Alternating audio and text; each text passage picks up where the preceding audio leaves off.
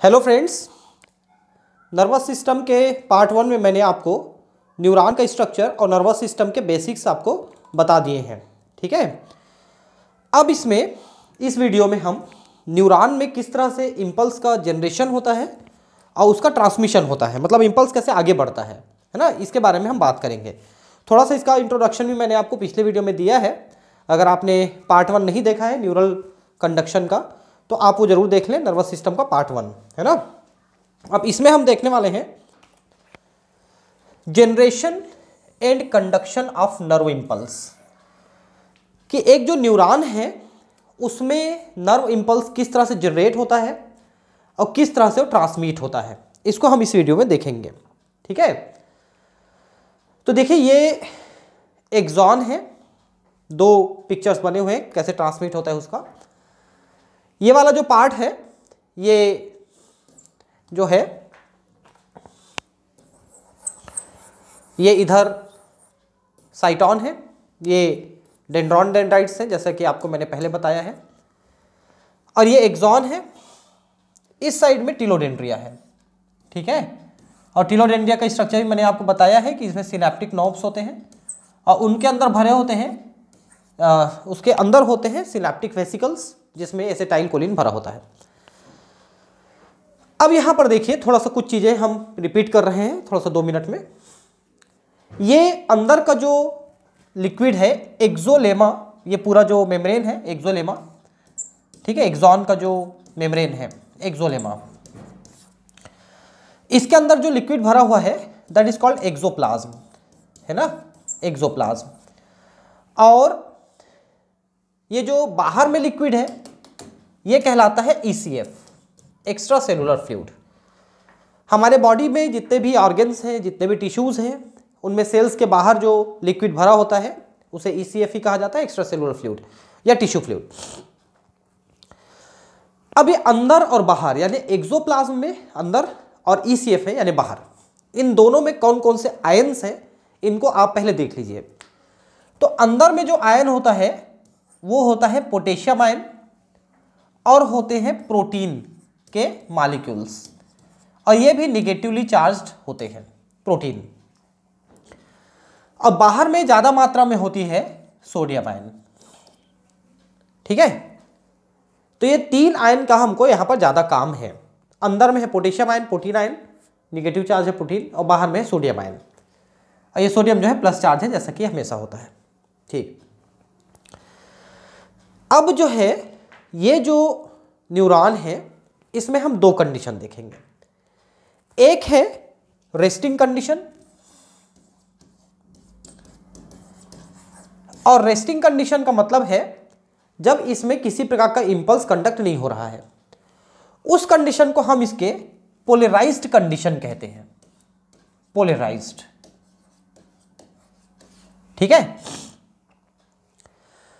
और जब इसमें इंपल्स प्रोड्यूस होता है कंडक्ट होता है, उस कंडीशन में हम इसे कहेंगे इन एक्शन कंडीशन एक्शन और उसमें जो चार्जेस डेवलप होते हैं that is called action potential resting condition में जो चार्जेस होते हैं, उन्हें हम कहते हैं रेस्टिंग पोटेंशियल और जो एक्शन कंडीशन में चार्ज डेवलप होता है, उसे हम कहते हैं action potential resting potential action potential resting condition को अपन पोलराइज्ड कंडीशन कहते हैं। और एक्शन कंडीशन को हम डीपोलराइज्ड कंडीशन कहते हैं। और फिर से रेस्टिंग कंडीशन में आना रिपोलराइज्ड कंडीशन कहलाता है। तो अभी आप देखिए सबसे पहले रेस्टिंग कंडीशन कैसे डेवलप्ड होता है, ठीक है? तो बाहर में सोडियम आयन होते हैं और अंदर में पोटेशियम आयन होते हैं।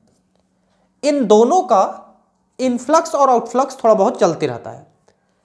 सोडियम आयन हालाँकि इसका जो परमिबिलिटी है थोड़ा कम होता है पोटेशियम आयन की परमिबिलिटी ज़्यादा होती है तो ये अंदर बाहर जाते रहते हैं। क्योंकि अंदर में पोटेशियम आयन ज़्यादा है, बाहर में सोडियम आयन ज़्यादा है तो यहाँ पर एक कॉन्सेंट्रेशन ग्रेडियंट ज़्यादा डेवलप हो जाता है मतलब डेवलप हो जाता है। उसी कारण से सोडियम अंदर पोटेशियम बाहर जाते रहता है। ये जो मेम्ब्रेन है एक्जोलेमा ये प्रोटीन के लिए इम्परमेबल है। इसलिए वो अंदर बाहर नहीं जा सकता प्रोटीन बाकी ये दोनों के लिए परमेबल है। हालाँकि इसमें भी सोडियम के लिए लेस परमेबल है पोटेशियम के लिए मोर परमेबल है। अब होता यह है कि जब सोडियम और पोटेशियम अंदर बाहर जा रहे हैं तो इसके लिए, इसमें रोकने के लिए इसको एक और व्यवस्था बना के रखती है। और वो व्यवस्था ये होती है कि जो एक्सोलेमा में कैरियर प्रोटीन्स होते हैं, एक्सोलेमा जो मेम्ब्रेन है, उसमें कुछ प्रोटीन मालिक्यूल्स कैरियर प्रोटीन का काम करते हैं, कैरियर, ट्रांसपोर्ट प्रोटीन का काम करते हैं। तो ये क्या करते हैं? अंदर आने वाले सोडियम को अंदर की तरफ़ बाइंड कर लेते हैं। ठीक है? ये देखिए, अंदर की तरफ़ सोडियम बाइंड हो गए। तीन सोडियम अंदर की तरफ़ बाइंड हो गए। और बाहर जाने वाले पोटेशियम को बाहर की तरफ़ बाइंड कर लेता है, लेकिन ये पोटेशियम सिर्फ़ दो बाइंड हो पाते हैं, बाहर की तरफ़। इसलिए कि पोटेशियम का साइज़ बड़ा है 19 इसका एटॉमिक नंबर है, और सोडियम का साइज़ छोटा है 11 इसका एटॉमिक नंबर है, इसलिए तीन सोडियम और दो पोटेशियम आइन बाइंड हो पाते हैं। फिर ये जो प्रोटीन मालिक्यूल है कैरियर प्रोटीन ये ऐसे घूम जाता है। कन्फॉर्मेशनल चेंज बोलते हैं इसको। ऐसे घूम जाने से जो पोटेशियम बाहर गया हुआ था, वो अंदर आ गया और जो सोडियम अंदर आया था, वो बाहर चला गया। तो जो सोडियम अंदर आ रहे थे, लगभग पूरे के पूरे वापस बाहर चले गए और जो पोटेशियम बाहर जा रहे थे, उसमें से अधिकांश पोटेशियम अंदर आ गए इस प्रोसेस को अपन सोडियम पोटेशियम पंप कहते हैं। सोडियम पोटेशियम पंप कहते हैं। ये एनर्जी ड्रिवन है। एनर्जी यानी एटीपी खर्च होते हैं इसमें। लेकिन अब यहाँ पर एक विशेष बात यह है कि जितने सोडियम अंदर आ रहे थे, वो उतने तो बाहर चले गए पंप के द्वारा। लेकिन जितने पोटेशियम बाहर जा रहे थे उतने पोटेशियम अंदर नहीं आ पाए, क्योंकि थोड़ी कम मात्रा में आ रहे हैं, देख सकते हैं, दो, ऐसा। तो जो पोटेशियम है, जो बाहर रह गए, वो मेम्ब्रेन के बाहर इकट्ठे होने लगते हैं। ये देखिए, ये जो प्लस चार्ज दिख रहे हैं, ये पोटेशियम के कारण से प्लस चार्ज है, जो यहाँ पर मेम्ब्रेन के बाहर इकट्ठे हो गए। ये वो पोटेशियम है जो अंदर नहीं आ पाए, जो बाहर गए थे, लेकिन पंप के द्वारा ये अंदर नहीं आ पाए। ये पोटेशियम आयन बाहर की तरफ़ इकट्ठा हो गए, मेम्ब्रेन के बाहर की तरफ़। और ये पोटेशियम आयन क्या करते हैं? अंदर के प्रोटीन को, जो कि नेगेटिवली चार्ज है, अंदर में नेगेटिव चार्ज में प्रोटीन है, उनको बाहर खींचने की कोशिश करते हैं। लेकिन ये मेम्ब्रेन, मैंने आपको बताया था, प्रोटीन के लिए इम्परमेबल है। तो प्रोटीन के आयंस निगेटिवली चार्ज आयन, बाहर नहीं जा पाते हैं, लेकिन वो अंदर की तरफ़ ऐसे इकट्ठे हो जाते हैं। ये देखिए, ये अंदर की तरफ़ इकट्ठे हो गए। ये जो चार्ज दिख रहे हैं माइनस वाले, ये अंदर की तरफ़ इकट्ठे हो गए। ये देखिए।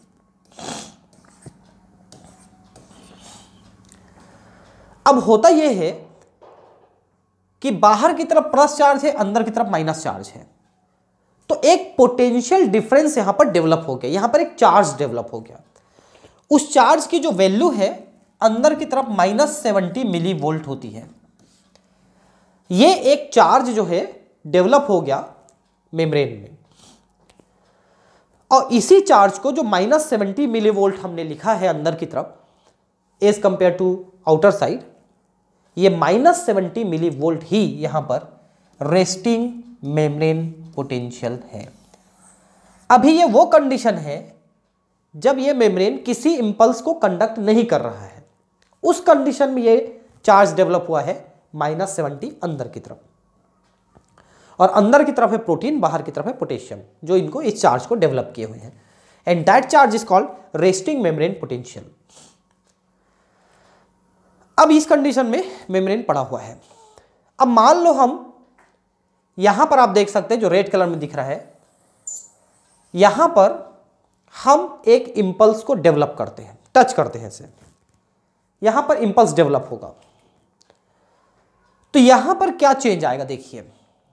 जब ये रेस्टिंग कंडीशन में था तो सोडियम और पोटेशियम लिमिटेड अमाउंट में अंदर बाहर हो रहे थे। ये जो चैनल है, जो गेट है सोडियम और पोटेशियम का, वो पूरी तरह से खुला हुआ नहीं था। थोड़ा बहुत गैप था बस, उसी में से पोटेशियम बाहर सोडियम अंदर, ऐसे अंदर बाहर कर रहे थे, फिर पोटेशियम सोडियम पोटेशियम पंप चला के हम उसको मैनेज कर रहे थे। चैनल्स के गेट जो है बंद थे। लेकिन अब जो है हम यहाँ पर इंपल्स डेवलप कर रहे हैं। अभी इस साइड में पूरा रेस्टिंग मेम्ब्रेन है, इस साइड में यहाँ पर हम इंपल्स डेवलप करेंगे। तो जैसे ही हम टच करते हैं या कोई इंपल्स डेवलप होता है तो यहाँ पर पार्टिकुलरली क्या होता है देखिए। यहाँ पर जो मेम्ब्रेन की परमेबिलिटी है, जो गेट है, वो चेंज हो जाती है और सोडियम के लिए ये गेट खुल जाते हैं। पहले तो थोड़े बहुत अंदर बाहर हो रहे थे, थोड़े बहुत गैप्स में से अंदर बाहर हो रहे थे, लेकिन अब गेट को ही खोल दिया हमने। गेट को खोलने से बाहर में जो सोडियम आयन बहुत ज़्यादा मात्रा में है, वो तेज़ी से अंदर आने लगते हैं। ये देखिए, ये अंदर आ रहे हैं सोडियम। बहुत तेज़ी से अंदर आने लगते हैं।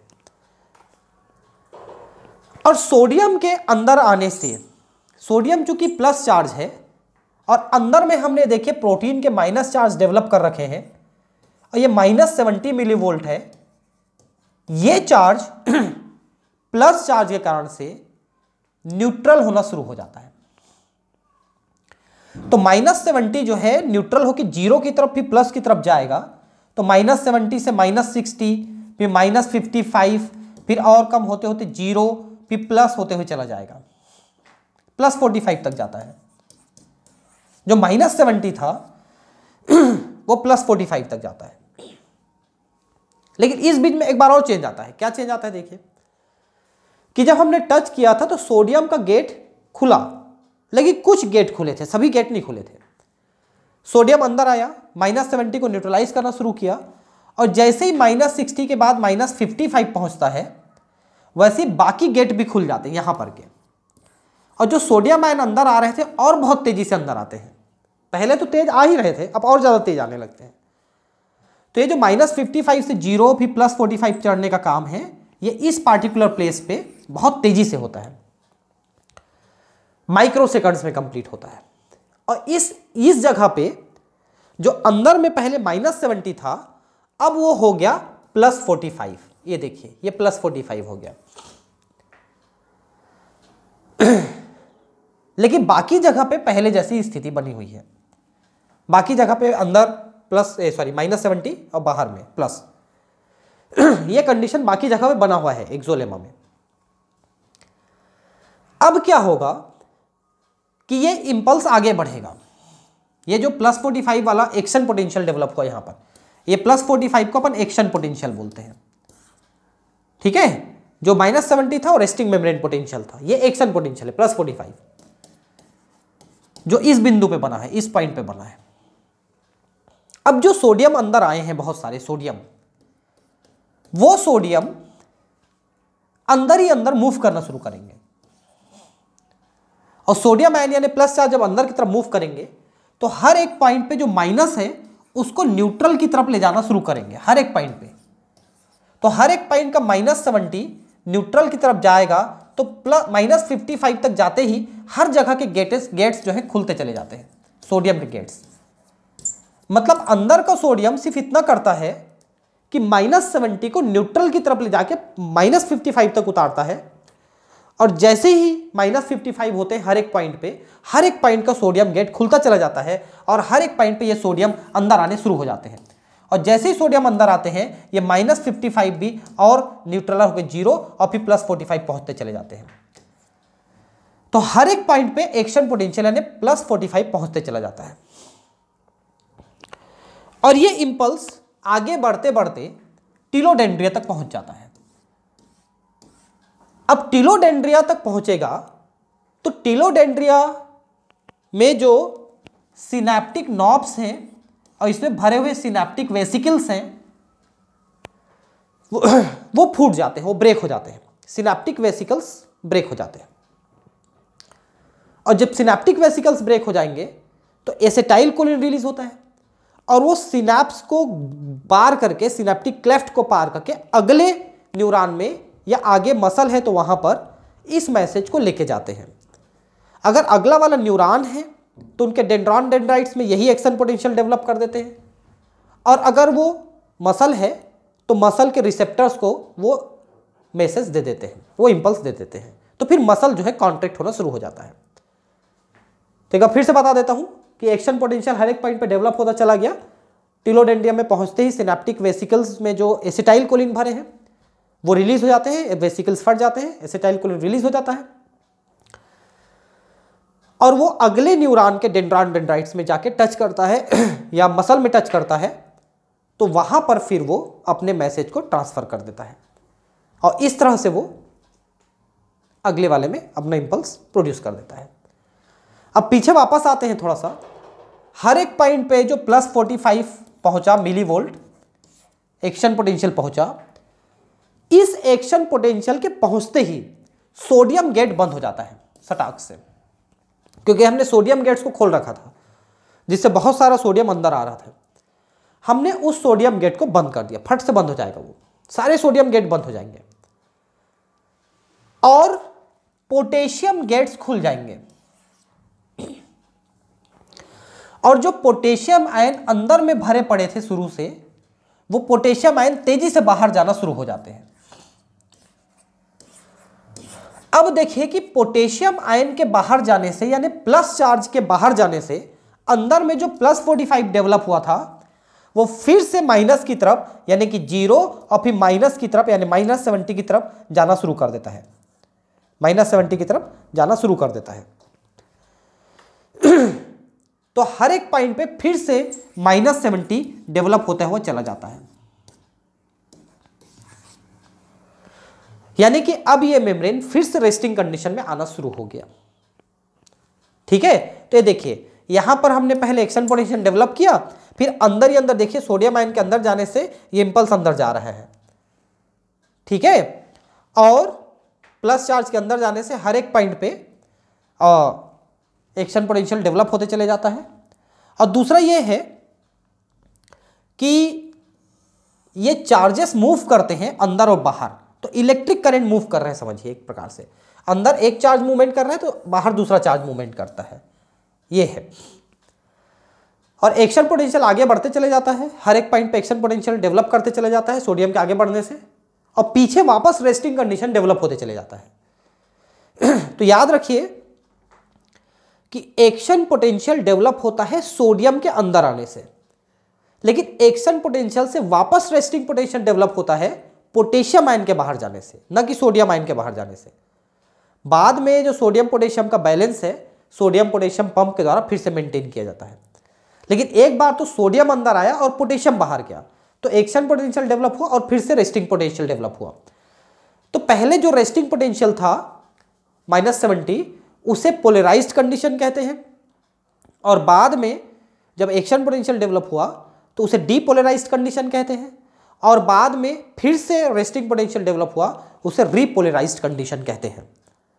तो इस तरह से इंपल्स का कंडक्शन आगे बढ़ते रहता है और आगे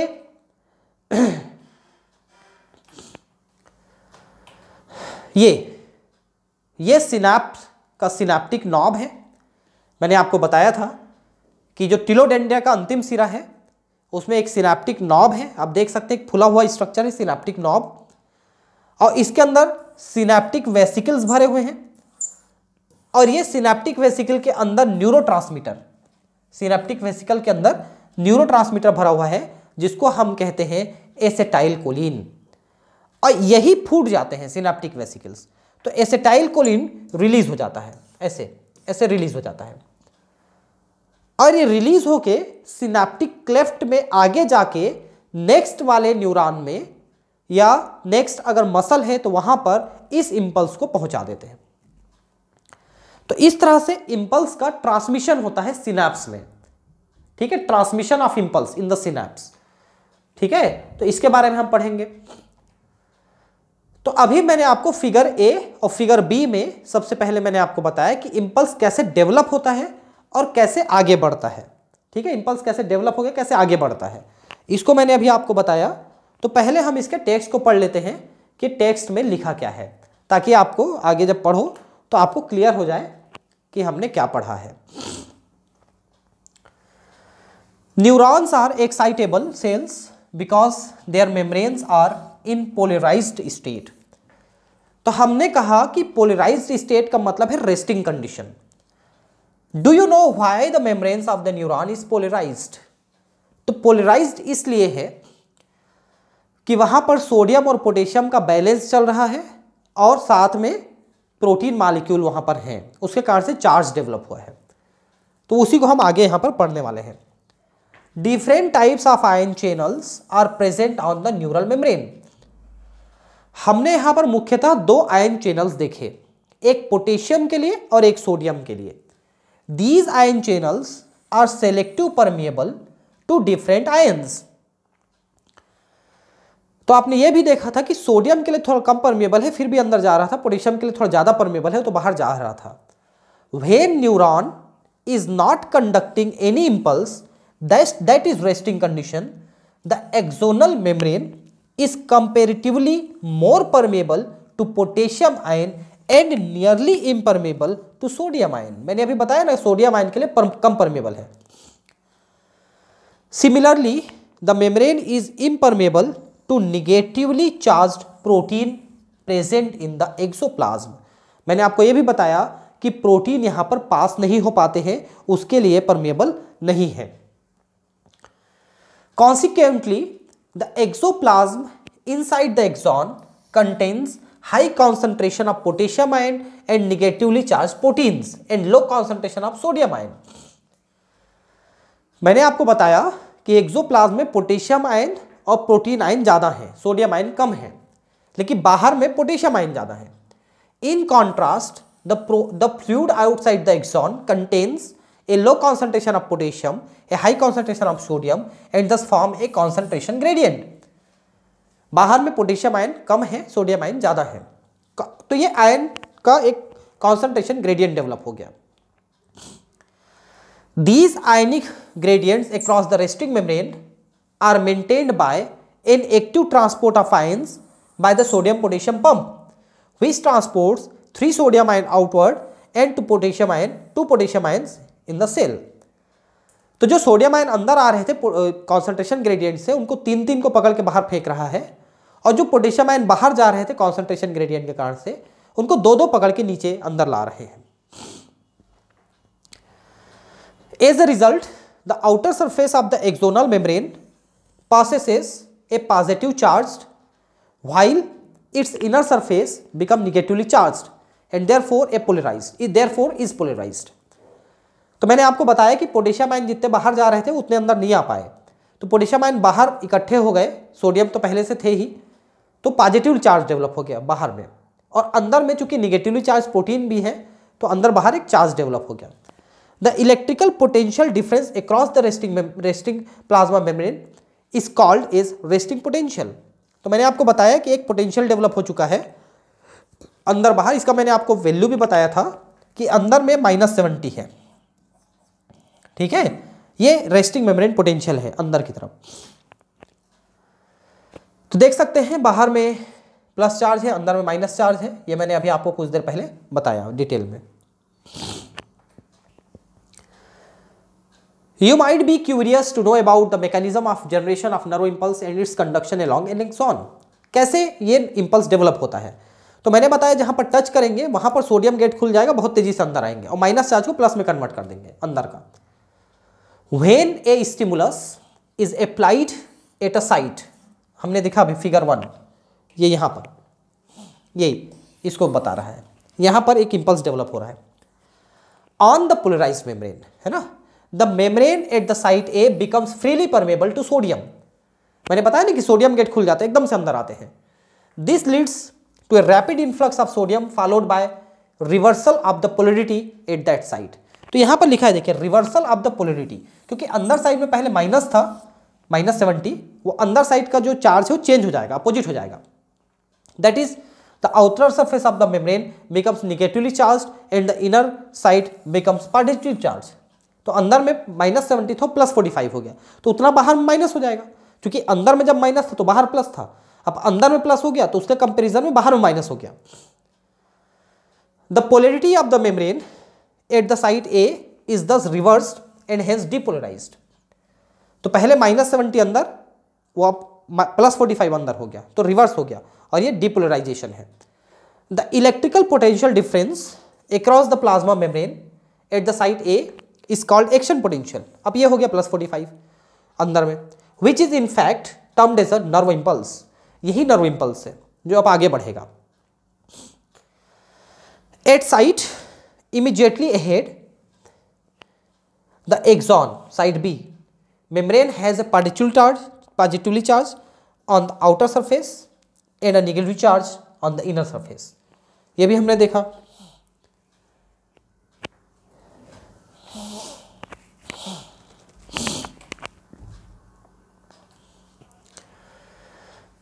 As a result a current flow on the inner surface from side A to side B अब अंदर ही अंदर सोडियम आयन मूव करना शुरू करेगा। On the outer surface current flows from side B to A तो अंदर में जब प्लस चार्ज मूव करेगा तो बाहर माइनस चार्ज मूव करेगा। अगर अंदर में माइनस चार्ज मूव करता है तो बाहर प्लस चार्ज मूव करेगा। मतलब अपोजिट डायरेक्शन में। To complete the circuit of current flow has the polarity at the site is reversed and action potential is generated at side B तो अब जो है सोडियम आयन अंदर ही अंदर जब मूव करना शुरू किया तो अगले पॉइंट पे भी उसने एक्शन पोटेंशियल डेवलप कर दिया। क्योंकि अगला पॉइंट अभी भी रेस्टिंग कंडीशन में था ना तो सोडियम आयन अंदर में जाके उसको भी प्लस फोर्टी फाइव की तरफ़ ले जाएगा। कैसे ले जाएगा? मैंने बताया अभी कुछ देर पहले आपको। क्योंकि वो तुरंत वो चैनल गेट को खोलते चला जाता है सोडियम आयन के। और अंदर में बहुत सोडियम आयन आते जाते हैं। Thus the impulse action potential generated at side A arrives at side B तो आगे बढ़ जाएगा वो। The sequence is repeated along the length of the axon and consequently, the impulse is conducted. तो जैसा मैंने बताया कि अंदर ही अंदर सोडियम आते जाता है, अंदर बढ़ते जाता है प्लस मतलब माइनस सेवेंटी को माइनस फिफ्टी फाइव करते जाता है। हर एक पॉइंट पे सोडियम गेट खुलते चले जाते हैं, हर एक पॉइंट पे सोडियम अंदर आते चले जाते हैं, हर एक पॉइंट को माइनस सेवेंटी था माइनस फिफ्टी फाइव हुआ, फिर प्लस फोर्टी फाइव तक चढ़ जाता है। तो हर एक पॉइंट पर एक्शन पोटेंशियल डेवलप होते चले जाता है टिलोडेंट्रिया तक। The rise in the stimulus induced permeability of sodium is extremely short lived. और जैसा मैंने कहा कि जैसे प्लस फोर्टी फाइव होता है सोडियम गेट बंद हो जाते हैं हर एक जगह का। It is quickly followed by rise in the permeability of potassium ion और जैसे सोडियम आयन बंद होता है पोटेशियम आयन का गेट खुल जाता है। और पोटेशियम शुरू से अंदर में था, वो बाहर जाना शुरू हो जाता है। Within a fraction of seconds potassium diffuses outside the membrane and restore the resting potential of the membrane और चूँकि प्लस फोर्टी फाइव अंदर में है और प्लस चार्ज बाहर जाना शुरू हुआ तो प्लस चार्ज बाहर जाना शुरू हो गया। इसके कारण से प्लस फोर्टी फाइव फिर से माइनस चला जाता है और फिर से माइनस सेवेंटी आ जाता है। तो फिर से रेस्टिंग पोटेंशियल डेवलप हो जाता है। At the site of excitation and the fibre becomes one more responsive to further stimulation और जैसे वो रेस्टिंग कंडीशन में वापस आता है, फिर से नए स्टिमुलस को ले जाने के लिए वो तैयार हो जाता है। तो पहले पोलराइज था, फिर डीपोलराइज हुआ, फिर वापस पोलराइज हो गया, उसको रीपोलराइज कहते हैं। और फिर जैसा मैंने कहा कि सिनेप्स के पास पहुँचता है आखिरी में, टिलोडेंड्रिया। तो टिलोडेंड्रिया में सिनेप्टिक नॉब्स हैं, उसके अंदर सिनेप्टिक वेसिकल्स हैं, उसमें भरे हुए हैं सेटाइल कोलिन न्यूरोट्रांसमीटर वो फूट के बाहर चले जाते हैं न्यूरोट्रांसमीटर और सिनेप्टिक क्लेफ्ट को पार करके अगले डेंड्रॉन डेंड्राइट्स में, यानी अगले न्यूरॉन में, या फिर आगे अगर मसल है तो मसल में वो अपने इंपल्स ट्रांसमिट कर देते हैं। ठीक है? A nerve impulse is transmitted from one neuron to another through junctions called synapse. तो सिनाप्स के थ्रू ये नर्व इंपल्स आगे पास हो जाते हैं। A synapse is formed by the membrane of a presynaptic neuron and postsynaptic neuron तो pre synaptic post synaptic क्या है? पहला वाला न्यूरॉन और अगले वाला न्यूरॉन पहला वाला प्री कहलाता है, बाद वाला पोस्ट कहलाता है। दोनों के बीच में गैप है सिनेप्टिक क्लेफ्ट है ना? Which may or may not be separated by a gap called synaptic cleft तो ज़्यादातर में तो सिनेप्टिक क्लेफ्ट होता है। यहाँ पर लिखा है कि सिनेप्टिक क्लेफ्ट हो भी सकता है और नहीं भी हो सकता है। ठीक है? ये एनसीआरटी e में ही लिखा है, ज़्यादातर बुक में नहीं लिखा है। There are two types of synapses namely electrical synapses and chemical synapses ठीक है? At electrical synapses the membranes of pre and post synaptic neurons are in very close a proximity very close proximity electric current can flow directly from one neuron into the other other across the synapses तो जिनमें gap नहीं होता, ये touch किए रहते हैं तो वहाँ पर इलेक्ट्रिक ही पास हो जाता है। वहाँ पर आपको ऐसे टाइल कोलिन सिक्रिएट करने की ज़रूरत नहीं है। लेकिन जहाँ पर ये गैप है, वहाँ पर फिर वो ऐसे टाइल कोलिन सिक्रिएट होता है और वो ट्रांसमिट करता है। तो दो प्रकार का लिखा है यहाँ पर। एक में सिनेप्टिक क्लेफ्ट है और दूसरे में सिनेप्टिक क्लेफ्ट नहीं है। अगर सिनेप्टिक क्लेफ्ट नहीं है डायरेक्ट जुड़े हुए हैं तो सीधा इलेक्ट्रिक पास हो जाएगा। और सिनेप्टिक क्लेफ्ट है यानी गैप है तो फिर वो neurotransmission of an impulse uh, across electrical synapses is very similar to impulse conduction along a single axon तो एक एग्ज़ाम से दूसरे एग्ज़ाम में जाना वो वैसे ही जैसे एक ही एग्ज़ाम में चल रहा हो ऐसा। Impulse transmission across an electrical uh, synapse is always faster than that across a chemical synapse electrical synapses are rare in our system ये देखिए लिखा है electrical synapse कम होते हैं मैंने कहा ना कि ज़्यादातर में गैप होता है और इलेक्ट्रिकल सिनेप्स कम होते हैं ठीक है इलेक्ट्रिकल सिनेप्सेस कम होते हैं केमिकल सिनेप्सेस ज़्यादा होते हैं at chemical synapse The membranes of pre and post synaptic neurons are separated by a fluid filled space called synaptic cleft. तो जैसा मैंने बताया कि ज़्यादातर में तो गैप होता है है ना?